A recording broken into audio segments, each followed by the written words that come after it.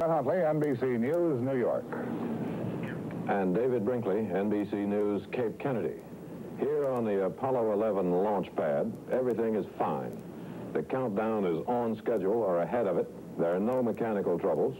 And while nobody we know of has the shakes as yet, everybody is finding it hard to contain himself until tomorrow morning when it all begins to happen. Armstrong, Aldrin, and Collins are cool and contained, saying, yes, they do know what it is to be scared, but they're not, because they know what the dangers are. They know that everything that can be done to get them to the moon safely and back has been done, and they believe what they're doing is worth the danger. As astronaut James McDivitt put it to us today, we very seldom see history made, but we'll see it tomorrow. This time, almost everybody in the world will be able to see it. Everyone in reach of television. The walk on the moon probably will be seen by more people around the world than have ever seen anything. This is the firing room at Cape Kennedy, as cool and quiet as if all those computers were figuring out a factory payroll. The countdown so far has ha hardly had a delay at all. Today, the 40-foot, 40-story gantry or service tower moved away, leaving the rocket standing there, gleaming white, all but the American flags on the sides. On top of it is a completely separate little rocket to fly the astronauts off of it and away in case of any trouble. In the White Room, they're still working. It is so called because it is clean, free of dust that might contaminate some of the delicate electronic and mechanical machinery. It is almost impossible, even looking down the whole length of it, to visualize how big it is. Even when you stand here on the ground and look at it, you can't, because it stands out in the middle of nothing, and there is no point of reference, nothing to compare it to. But it is enormous.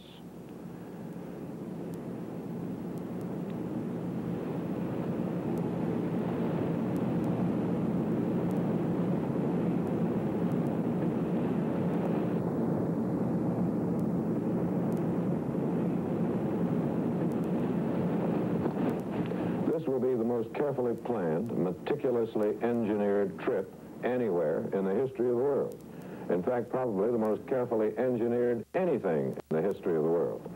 And this whole area down here in the Florida flats is busy, keyed up, crowded, hopeful, slightly fearful, overworked, and excited at something people find hard to believe, even when they know it's true.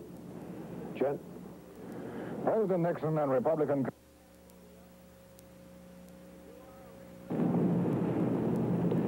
Cocoa Beach, next door here to Cape Kennedy, is filling up with VIPs and MIPs, very important people and moderately important people. Spiro Agnew, Lyndon Johnson, 69 ambassadors, 100 foreign embassy science attaches, 19 governors, 40 mayors, and 275 people named on NASA's list of important visitors. Also, the Chamber of Commerce figures, as chambers of commerce always do, that about a million other people will be around here tomorrow morning, choking up the highways and lining the beaches, waiting for something to tell their grandchildren about. The beaches on the ocean fronts here are wide, handsome, and on those close to the launch site, people are out there in tents, sleeping bags, campers, and trailers.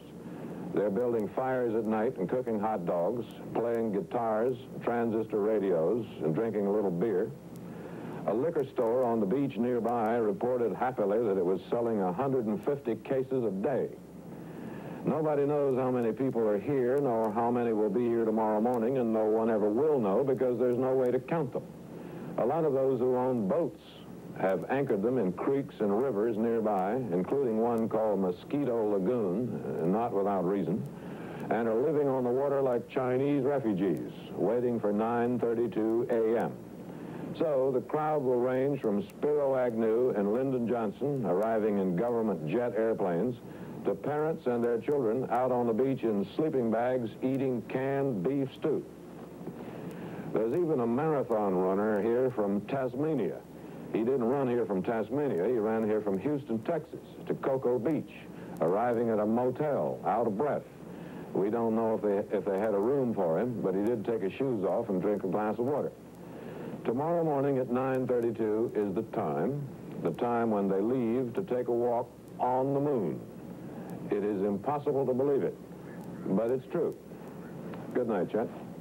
Good night, David, and good night for NBC News.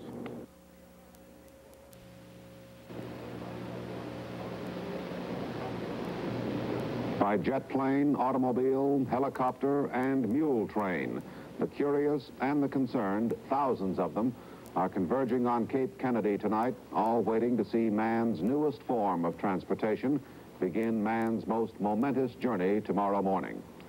I'll admit that's quite a mouthful, but after all, they are going to the moon. And the people in charge of the Apollo 11 mission report that everything is ready for the scheduled liftoff at 9.32 Eastern Time tomorrow morning. Here's a report from Cape Kennedy from Jules Bergman. The mobile service tower has now rolled back and Apollo 11 stands alone, poised for the final hours of the countdown. Astronauts Armstrong, Aldrin, and Collins spent a relaxed day today in their crew quarters, reviewing their flight plan one final time, and they'll go to bed early tonight. The calm, steady pace of the countdown contrasts starkly with the almost unbelievable spectacle surrounding the Cape. A million or more sightseers are expected to eyewitness this historic moment when man casts off his earthly shackles. The deluge of VIPs has already begun. Former President Johnson arrived at Patrick Air Force Base this morning. He'll be among some 2,500 VIPs, led by Vice President Agnew, who are expected to witness the liftoff. All in all, 8,000 invited guests will be here. Every member of Congress, together with one guest and the entire diplomatic corps, have received invitations. NASA is picking up the tab for the Washington to Cape Kennedy round-trip flight. The crunch is being felt everywhere. Roads, motels, parks, and restaurants are all jammed. Route A1A, the only road to the Cape, now combines all the worst elements of a Los Angeles freeway with those of a mid-Manhattan traffic jam. Not a motel room is to be had from here to Jacksonville, a distance of 175 miles. And the rates in Cocoa Beach have skyrocketed to $65 a night. The pandemonium and circus atmosphere outside the Cape can be compared with the relaxed, we're ready, so let's do it attitude of the three pilots. All three are so different, so non-typical American boy, that they completely shatter the Hollywood image of the typical astronaut. Spacecraft Commander Neil Armstrong, 39 next month, a veteran space agency research pilot who's flown everything from jet fighters to the X-15 research plane right down to gliders just for fun. The joy of flying a machine, making it do what it should do, gives him all the satisfaction he needs. Lunar module pilot Buzz Aldrin is the unique personality aboard Apollo 11. His five and a half hour spacewalk on Gemini 12, where he psyched out the problems and rested when he had to, made him the ideal choice to walk on the moon with Armstrong. Command module pilot Mike Collins, like Aldrin, an Air Force colonel, is the easiest going of the three. He has a reputation as a professional par excellence, who takes the training, doesn't squawk, and is ready when you are. Three, three unique individuals. There are no common men who can take both the stress and the training drudgery of getting ready to go to the moon. Early tomorrow, all three get aboard Apollo 11 to begin this monumental exploration and open a new chapter in man's history. This is Jules Bergman, ABC News at Cape Kennedy. Reverend Ralph David Abernathy, who is leading a miniature Poor People's March at Cape Kennedy, visited the Space Center today and said, what we can do for space and exploration, we demand that we do for starving people. And at a luncheon after he arrived at Cape Kennedy today, former President Johnson said, if we can lead the world to the moon, we can lead them to peace and bountiful prosperity here at home.